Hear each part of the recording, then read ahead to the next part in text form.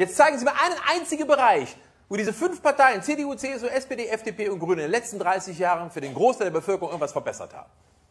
So, mit der Rente anfangen? Nee, lieber nicht, da fangen wir an zu weinen. Bildungspolitik lassen wir auch weg, ne? das ist auch, nee, nicht wirklich.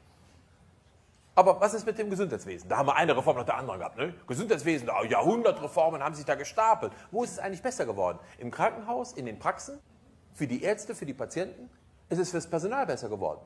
Ist es im Pflegeheim besser geworden, im Altersheim? Wo ist es besser geworden? Helfen Sie doch mal, Sie wählen die doch immer wieder. Was ist mit den Arbeitslosenzahlen? Haben wir mehr oder weniger Arbeitslose als vor 30 Jahren durch die Politik von CDU, CSU, SPD, FDP und Grünen? haben wir mehr oder weniger Staatsschulden als vor 30 Jahren durch die seriöse Haushaltspolitik von CDU, CSU, SPD, FDP und Grünen. Was mit der Steuergerechtigkeit? Wie oft haben die schon versprochen, das Steuersystem gerechter zu machen und transparenter? Ich kann es kaum noch erkennen. Ne? Helfen Sie mir, ich gebe Ihnen sechs Wochen Zeit für die Recherche. Und Sie dürfen auch den wissenschaftlichen Dienst des Bundestages in Anspruch nehmen. Es kann sich nichts ändern, meine Damen und Herren. Die haben sich diesem kapitalistischen Wirtschaftssystem verschworen. Wir sitzen einem Zug und rasen auf einen Abgrund zu. Wie der Abgrund aussieht, das wissen wir, wenn wir ehrlich sind. Das sind die Vereinigten Staaten von Amerika. Das ist Kapitalismus im Endstadium. Das können Sie da besichtigen gehen. Da müssen Sie jetzt aber nicht nur in Manhattan rumlaufen oder in Disneyland, da müssen Sie mal in die Außenbezirke von New York fahren oder von Los Angeles. Sie kommen nicht zurück, aber da wissen Sie, was da los ist. Die USA ist eine komplett entsolidarisierte Gesellschaft. Das ist Kapitalismus im Endstadium.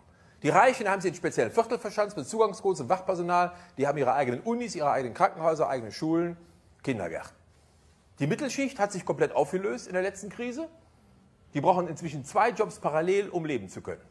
Ab dem dritten Acht-Stunden-Job brauchen sie auch keine eigene Wohnung mehr. Da sparen sie richtig Geld. Das Unterdrittel sitzt komplett im Dreck. Die sind entweder ganz obdachlos oder sitzen in, in Wohnvierteln drin, wo sich keine Polizei mehr reintraut. Die einzige sozialpolitische Maßnahme ist wegsperren. In den USA sitzen pro 1000 Einwohner mehr Menschen im Knast als in jedem anderen Land der Welt, inklusive Nordkorea und China. Und obwohl so viele Menschen in den USA eingesperrt sind, ist übrigens ein Geschäftsmodell, private Gefängnisse, da kann man richtig Geld mit verdienen. Obwohl so viele eingesperrt sind, ist die Haupttodesursache für junge Amerikaner Mord. Jedes Jahr werden über 30.000 Amerikaner auf offener Straße erschossen. Das sind über 80 am Tag. 80 Tote am Tag, das nennen die im Irak Bürgerkrieg. Das ist in den USA auch. Kapitalismus im Endstadium ist Bürgerkrieg. Nur, dass nicht die Armen gegen die Reichen kämpfen, sondern die Armen schießen sich gegenseitig über den Haufen mit den Waffen, die die Reichen ihnen noch verkauft haben. So wie wir das mit Afrika machen. Das ist Kapitalismus. Teile und herrsche. Dividende et impera.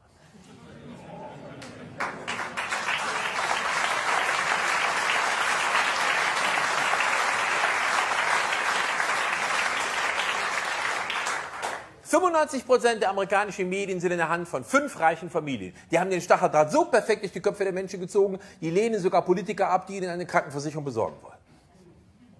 Und auf diese entsolidarisierte Gesellschaft, auf diesen Abgrund rasen wir zu. Und unsere Politiker sagen, wir können den Zug nicht aufhalten. Und dann sagen wir, können wir vielleicht die Schienen so am Abgrund langlegen, so eine kleine Kurskorrektur. Und die sagt die Merkel, die Richtung ist alternativlos. Aha. Wir können den Zug nicht anhalten, wir können die Richtung nicht bestimmen. Wozu gehen wir wählen? Ah, ich weiß wieder, wir dürfen den Lokführer austauschen. Alle vier Jahre, das ist lustig. Und da machen die Medien sich aber auch Mühe, das muss man mal sagen. Da organisieren die alle vier Jahre eine Richtungswahl auf einer einzelnen Schiene. Wenn wir ganz rebellisch sind, tauschen wir den Lokführer aus und sagen, halt Kurs, gib Gas. wir müssen den Zug anhalten. Ne? Wir müssen den Zug anhalten und diskutieren, wie wir wirklich leben wollen. Wie wollen wir in Deutschland leben, wie in Europa, wie soll die Welt weiterleben? Was brauchen wir? Was brauchen wir nicht? Brauchen wir Banken, die 26% Eigenkapitalrendite haben? Darf man mit Geld mehr Geld verdienen als mit Arbeit?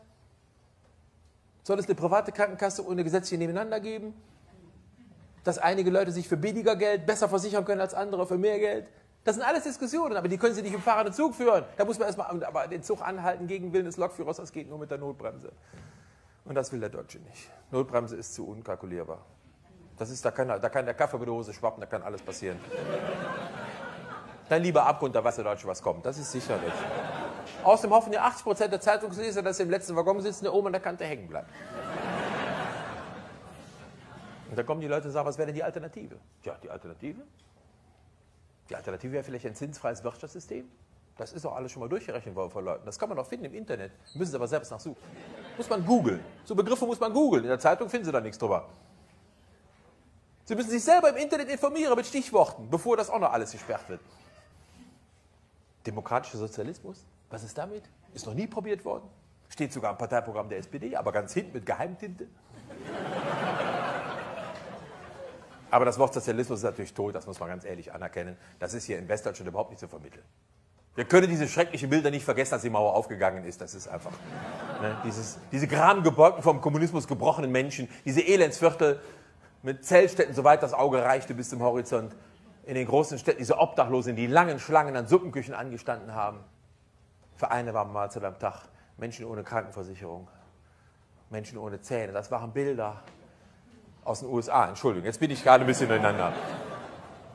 Obdachlose ohne Zähne war USA. DDR war ohne Bananen. Entschuldigung, Entschuldigung. Wir wollen immer fair bleiben.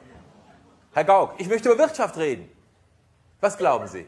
Könnte es sein, dass für 50 Prozent der US-Amerikaner von heute der Lebensstandard der DDR-Bürger von vor 30 Jahren das Paradies auf Erden wäre?